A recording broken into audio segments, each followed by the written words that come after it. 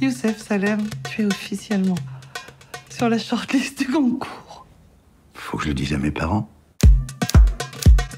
Comment t'as pu écrire un torchon pareil? Maman n'a jamais couché avec le maître nageur. Je sais bien. T'imagines si papa il tombe dessus Ouais. T'imagines le Tu début mériterais qu'on mette un contrat sur ta tête. Ouais. Putain. Ouais. Qu'on t'élimine. C'est moi, l'auteur Youssef Salam. Je l'ai pas lu encore, enfin je vais le lire, hein, mais Oui. il paraît que c'est super. En tout cas, ça se vend très très bien. Eh ben justement, il faudrait arrêter de le vendre, s'il vous plaît. Moi, j'aime pas du tout votre petit mépris d'auteur. C'est une question de vie ou de mort.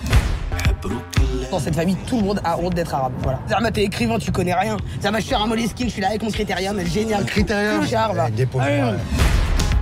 C'est quoi l'exemple que vous voulez donner J'essaye juste dans ce livre de raconter l'histoire d'une famille en restant le plus lucide possible. Et il se trouve que cette famille, euh, elle a des défauts. C'est moi qui l'ai déniché Oui, mais Ce génie Allez, c'est le dernier. Tu trouves pas que la vie, c'est tout petit peu plus grand que ça Maman, papa, j'ai quelque chose à vous dire. Je suis grand-mère. Non, non, maman. Vous qui avez écrit ce bouquet magnifique là Oui. Je suis reconnue, je sais pas, cette famille. Vous êtes une arabe? Ça va pas, non, Ah ouais, je suis pas arabe. Non, non. non, non, moi je suis marseillaise.